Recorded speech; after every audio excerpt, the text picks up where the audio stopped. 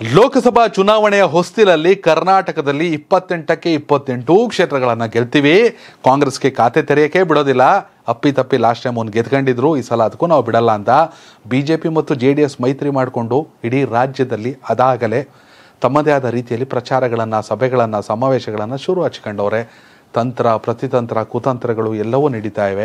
ಇಂಥ ಸಂದರ್ಭದಲ್ಲಿ B J ಪಿಯಲ್ಲಿ ಕೆಲ ಕ್ಷೇತ್ರಗಳಲ್ಲಿ ಅಭ್ಯರ್ಥಿಗಳಿಗೆ ಕಾಂಪಿಟೇಷನ್ ಹೆಚ್ಚಾಗಿದೆ. ಹೀಗಾಗಿ ಚಿಕ್ಕೋಡಿ ಲೋಕಸಭಾ ಕ್ಷೇತ್ರದಲ್ಲಿ ಬಿ ಜೆ ಪಿ ಅಭ್ಯರ್ಥಿ ಯಾರು? ಅಣ್ಣಾ ಸಾಹೇಬ್ ಜೊಲ್ಲೆ ಅವರು, ಹಾಲಿ ಸಂಸದರು. ಟಿಕೆಟ್ ನಮ್ಮದೇ ಅನ್ಕೊಂಡವ್ರೆ. ಆದರೆ ನನಗೂ ನಿಲ್ಲುವ, ನನಗೂ ಗೆಲ್ಲುವ ಕೆಪಾಸಿಟಿ ಇದೆ. ಈ ಸಲ ಟಿಕೆಟ್ ನನಗೇ ಬೇಕು. ಹೋದ ಸಲ ಟಿಕೆಟ್ ಕೊಡಲಿಲ್ಲ ಅಂತ ನಾನು ಸೈಲೆಂಟ್ ಆಗಿದ್ದೆ. ಆದರೆ ಈ ಸಲ ನಾನು ಸೈಲೆಂಟ್ ಆಗಿರೋ ಪ್ರಮೇಯ ಖಂಡಿತವಾಗಲೂ ಇಲ್ಲ. ಅಣ್ಣಾ ಸಾಹೇಬ್ ಜೊಲ್ಲೆಗೆ ಕಂಪೇರ್ ಮಾಡಿದರೆ ನನಗೆ ಏನು ಕಡಿಮೆ ಇದೆ, ಬೇಕಾದ್ರೆ ಸಮೀಕ್ಷೆ ಮಾಡಿಸಿ. ನಿಮ್ಮ ಸರ್ವೆ ಪ್ರಕಾರನೇ ಬರಲಿ. ಅವ್ರ ಹೆಸರು ಬಂದರೆ ಅವ್ರಿಗೆ ಟಿಕೆಟ್ ಕೊಡಿ, ನನ್ನ ಹೆಸರು ಬಂದರೆ ನನಗೆ ಟಿಕೆಟ್ ಕೊಡಿ ಅನ್ನೋ ಲೆಕ್ಕಾಚಾರದಲ್ಲಿದ್ದಾರೆ ಮಾಜಿ ಸಂಸದ ರಮೇಶ್ ಕತ್ತಿ ಅವರು. ಎಸ್ ಚಿಕ್ಕೋಡಿ ಲೋಕಸಭಾ ಕ್ಷೇತ್ರದಲ್ಲಿ ಬಿ ಜೆ ಪಿಯ ಟಿಕೆಟ್ಗೆ ಪೈಪೋಟಿ ಶುರುವಾಗಿದ್ದು, ಅಣ್ಣಾ ಸಾಹೇಬ್ ಜೊಲ್ಲೆ ವರ್ಸಸ್ ರಮೇಶ್ ಕತ್ತಿ ನಡುವೆ ಕಾಂಪಿಟೇಷನ್ ಜೋರಾಗಲಿದೆ.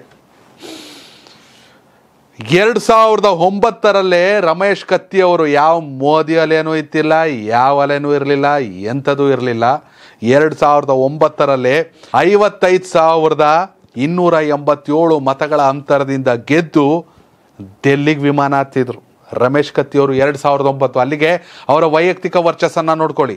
ಈಗ ಗೆದ್ಕೊ ಬತ್ತಿರೋರೆಲ್ಲರೂ ಕೂಡ ವೈಯಕ್ತಿಕ ವರ್ಚಸ್ಸಿಗಿಂತ ಹೆಚ್ಚಾಗಿ ಮೋದಿ ಅಲೆ ಅಥವಾ ಮೋದಿ ಮೇನಿಯಾ ಅದನ್ನ ಡೈರೆಕ್ಟಾಗಿ ಹೇಳ್ಕೊತಾರೆ "ಏ, ನಾವು ಮೋದಿ ಹೆಸರು ಹಾಕೊಂಡು ಫೋಟೋ ಮಾಡ್ಕೊಂಡು ರಿಸಲ್ಟ್ ಮಾಡ್ಕೋತೀವಿ ಜನ ದೇಶ ಅಂತ ಬಂದಾಗ ಮೋದಿಯನ್ನು ಪ್ರಧಾನಿ ಆಗ್ಬೇಕಂತ ಬಯಸ್ತಾರೆ ಅಂತ.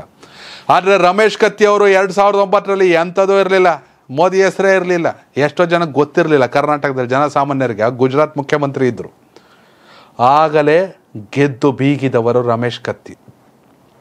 ನಂತರ ಎರಡು ಸಾವಿರದ ಹದಿನಾಲ್ಕರಲ್ಲೂ ಅವ್ರಿಗೆ ಟಿಕೆಟ್ ಕೊಡ್ತಾರೆ. ಪಾಪ ಮನುಷ್ಯಂಗೆ ರಿಸಲ್ಟ್ ಮಾಡ್ಕೊಳಕ್ಕೆ ಆಗಲಿಲ್ಲ.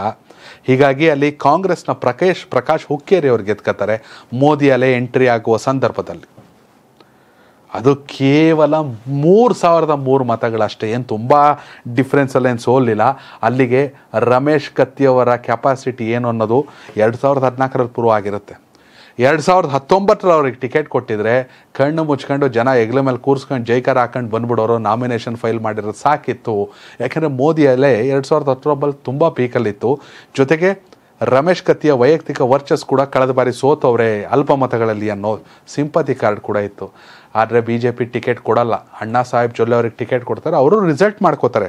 ಅಂತ ಏನು ನೆಗೆಟಿವ್ ಏನು ಆಗಲ್ಲ. ಪ್ರಕಾಶ್ ಹುಕ್ಕೇರಿ ಸೋತ್ಬಿಡ್ತಾರೆ ಎರಡು ಸಾವಿರದ ಹತ್ತೊಂಬತ್ತರಲ್ಲಿ. ಆದರೆ ಇದೀಗ ರಮೇಶ್ ಕತ್ತಿ ಸಾಕಲ್ವಾ? ಅಣ್ಣಾ ಸಾಹೇಬ್ ಜೊಲ್ಲೆ ಅವ್ರಿಗೆ ಕೊಟ್ಟಿದ್ದು, ಈಗ ನನಗೆ ಮತ್ತೆ ಟಿಕೆಟ್ ಬೇಕು ಅನ್ನೋ ಲೆಕ್ಕಾಚಾರದಲ್ಲಿ ಇದ್ದಾರೆ ಚಿಕ್ಕೋಡಿ ಲೋಕಸಭಾ ಕ್ಷೇತ್ರದಲ್ಲಿ. ಇನ್ನು ಕೂಡ ಅಲ್ಲಿ ಕಾಂಗ್ರೆಸ್ನಲ್ಲಿ ಕೂಡ ಸಾಕಷ್ಟು ಗೊಂದಲಗಳು ಇವೆ. ಲಕ್ಷ್ಮಣ್ ಸವದಿ ಅವ್ರ ಪುತ್ರ, ಚಿದಾನಂದ ಸವದಿ ಅವರು ಕೂಡ ಸ್ಟ್ರಾಂಗ್ ಸ್ಟ್ರಾಂಗ್ ಆಸ್ಪರೆಂಟ್ ಆಗಿದ್ದಾರೆ. ಇನ್ನೂ ಸಾಕಷ್ಟು ಹೆಸರುಗಳಿವೆ. ಇವೆಲ್ಲದರ ನಡುವೆ ಚಿಕ್ಕೋಡಿ ಕ್ಷೇತ್ರದ ಮತದಾರರು, ನೀವು ನಿಮ್ಮ ಅಭಿಪ್ರಾಯನ ಕಾಮೆಂಟ್ ಮಾಡಿ. ನಿಮ್ಮ ಕ್ಷೇತ್ರದ ಸಂಸದರು ಯಾರಾಗಬೇಕು ಅನ್ನೋದನ್ನು. ಹಾಗೆಯೇ ಯಾರು ಪ್ರಧಾನಿ ಆಗಬೇಕು? ನರೇಂದ್ರ ಮೋದಿಯವರ ಮಲ್ಲಿಕಾರ್ಜುನ್ ಖರ್ಗೆ ಅವರ ಅಥವಾ ರಾಹುಲ್ ಗಾಂಧಿಯವರ ನಿಮ್ಮ ಅಭಿಪ್ರಾಯನ ಕಾಮೆಂಟ್ ಮಾಡಿ. ಧನ್ಯವಾದಗಳು.